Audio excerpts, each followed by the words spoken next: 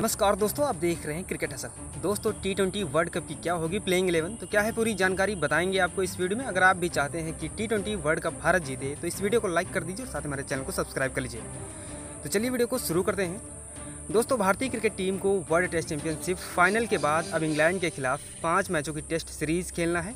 जानकारी के मुताबिक चार अगस्त से नाटिंगहम में दोनों देशों के बीच पहला टेस्ट मैच खेला जाएगा। भारत को 4 अगस्त से 8 अगस्त के बीच नाटिंगम में पहला टेस्ट मैच खेलना है और इसके बाद 12 अगस्त से 16 अगस्त के बीच लार्ड्स में दूसरा मुकाबला होगा। तीसरे मुकाबले में दोनों टीमें लीड्स में 25 अगस्त से उनतीस अगस्त के बीच आमने सामने होंगी और 2 सितंबर से 6 सितंबर के बीच लंदन में दोनों टीमों के बीच चौथा मुकाबला खेला जाएगा।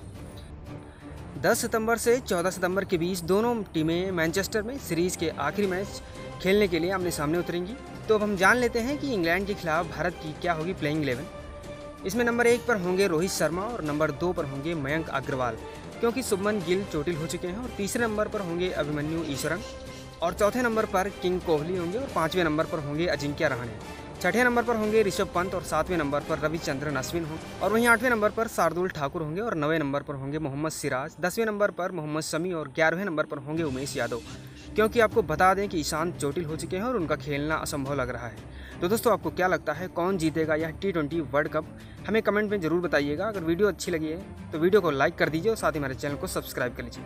वीडियो को देखने के लिए आपका बहुत बहुत धन्यवाद।